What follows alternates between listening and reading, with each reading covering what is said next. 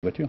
Alors, nous allons voir maintenant ce qui existe déjà comme, comme mesure, comme législation. Contre les mineurs délinquants, il y a une ordonnance de 1945 qui est remaniée, euh, qui a été remaniée à de multiples reprises et qui prévoit donc bien euh, l'éloignement. Euh, pour la seule année 97, près de 30 000 jeunes sont passés par les foyers de la protection judiciaire de la jeunesse et pour les délinquants les plus récalcitrants, il existe 13 dispositifs éducatifs renforcés, mais le système en place, si l'on veut l'améliorer, nécessite évidemment de l'argent supplémentaire. Commentaire Thierry Curtet. Le texte date de 1945, mais il a fait l'objet de nombreux aménagements depuis cette date. Sa philosophie est simple, il privilégie l'éducatif avant les mesures répressives. Les possibilités sont larges. Il y a d'abord l'admonestation, le simple avertissement, puis les travaux d'intérêt général, des travaux éducatifs, d'intégration ou de réparation suite à des dégradations par exemple. Il y a ensuite l'éducation surveillée, dans le cadre d'un accord sous condition passé entre le juge et l'adolescent.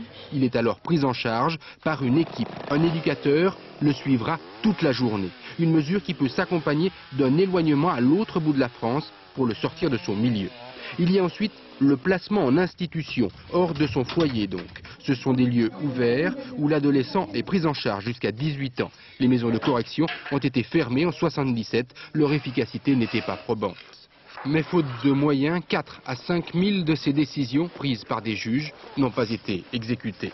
Et puis il y a l'échec, la prison, possible dès 13 ans, même si pour un délit, c'est-à-dire pour un ou plusieurs vols, il ne peut y avoir de détention provisoire. Dans ce cas, il faut un jugement pour être envoyé en prison avant 16 ans, sauf si l'on a commis un crime.